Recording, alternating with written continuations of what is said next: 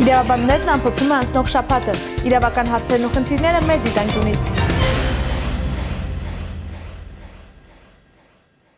Հայաստանում աշխատող գործատու հարաբերությունները կարգավորվում են աշխատանքային օրենսգրքով։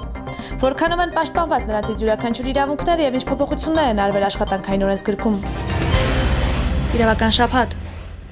Այսուհետև, եթե աշխատողը համաձայն չի աշխատանքային պայմանների փոփոխության, գործատուի նախաձեռնությամբ աշխատանքային պայմանագիրը դադարեցնելու կամ աշխատանքային պայմանագիրը լուծելու հետ, ապա փաստաթուղթը ստանալու օրվանից հետո 2 ամսվա ընթացքում իրավունք ունի դիմելու դատարան։ Փոփոխությունն ուժի մեջ է մտել մարտի 12-ին նախկինում դատարան դիմելու համար աշխատողին 1 ամիս ժամանակ էր տրվում։ Ում եւ որ իրավունքներն են ավելի հաճախ խախտվում, ողջել են Ունե Հովսեփյանը։ Ամենատարածված աշխատանքային վեճերը Հայաստանում կապված են աշխատանքային պայմանագրի լուծման հետ։ Քիչ չեն վեճերը նաև, որոնք վերաբերում են պայմանագրի կամ աշխատանքային պայմանների փոփոխմանը, վերջնահաշվարկ կատարելուն աշխատանքային հաստիկների կրճատմանը։ Սրա մասին աշխատանքային իրավունքի մասնագետ Արգամ Նազանյանի պրակտիկան է հուշում։ Ուրախալի է, որ իրավագիտակցությունն է բարձրացել ժողովրդի այն առումով, որ հիմա դատարանները իրոք լեփլեցուն են աշխատանքային վեճերով։ Անցանկալի աշխատողներից ազատվելու համար գործատուն արդարացված տարբերակ է կիրառում աշխատանքային պայմանագիրի լուծումը հաստիկների կրճատման պատճառով։ Նման լիազորությամբ օրենքն է օժտել նրան։ Ըստ էության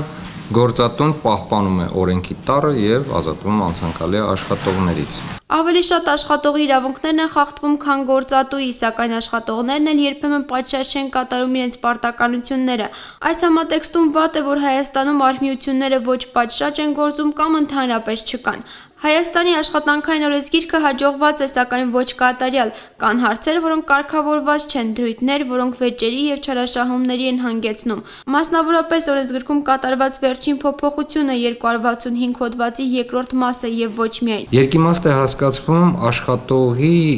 եւ գործատուի աշխատ այլ պատճառներով աշխատանքային հարաբերությունների վերականգնման անհնարինությունը, այսինքն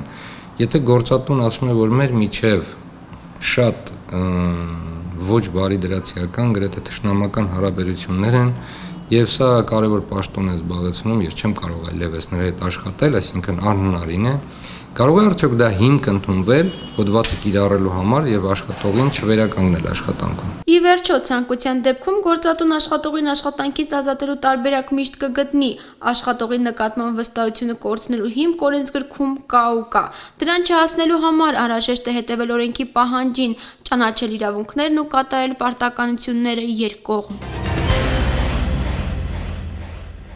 Աշխատանքային օրենսգրքում կատարված վերջին լրացումների եւ փոփոխությունների արդյունքում առանց աշխատանքային պայմանագրի աշխատող անձանց համար նոր հնարավորություն է ստեղծվել ապացուցելու, որ ինքն աշխատել է տվյալ գործատուի մոտ։ Մանրամասները Արև Ավակյանի նյութում։ Այսուհետ չգրանցված աշխատողները հնարավորություն կունենան դատական կարգով ապացուցելու փաստացի աշխատանքային հարաբերությունների արկայությունը։ Դրա արդյունքում դրանք կարողանան վերականգնել իրենց աշխատանքային ստաժը։ Այս դրույթն ամրագրվել է աշխատանքային օրենսգրքում վերջերս կատարված փոփոխությամբ։ Այս նորմի համահեղինակ պատգամավոր Արփինե Հովանիսյանի կարծիքով փոփոխությունը կնպաստի չգրանցված աշխատողների քանակի նվազեցմանը, հարկադրելով գործատուներին պահպանել աշխատանքային պայմանագրի կնքման օրենքով սահմանված կարգը։ Եվ սահմանադրական դատարանը իր որոշման կայացման ժամանակ ուսումնասիրել էր ամբողջ դատական պրակտիկան, եւ ինձ էլ քաչ հայտնի են դեպքեր, երբ շատերը ցանկացել են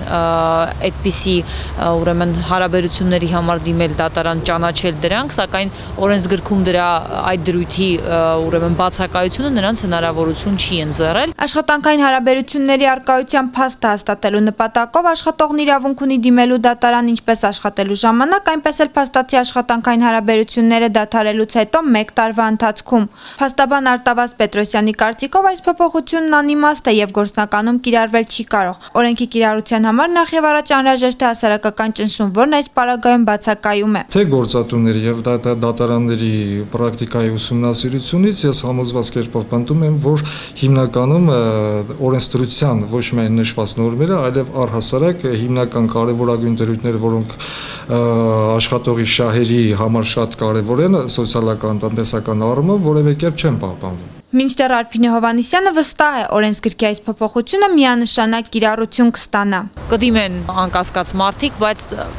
թե ինչ քանակով կդիմեն, ժամանակը ցույց կտա։ Այստեղ կարևոր է որպեսի մարդը իմանա, որ ինքը ունի երաշխիք, ունի հնարավորություն դիմելու եւ հասնելու իր իրավունքի պաշտպանությանը։ Օրենքի փոփոխությունը գրեթե 2 ամիս է գործում է, իսկ թե ինչ արդյունքներ կարձանագրի ապագայում ցույց կտա վիճակագրությունը։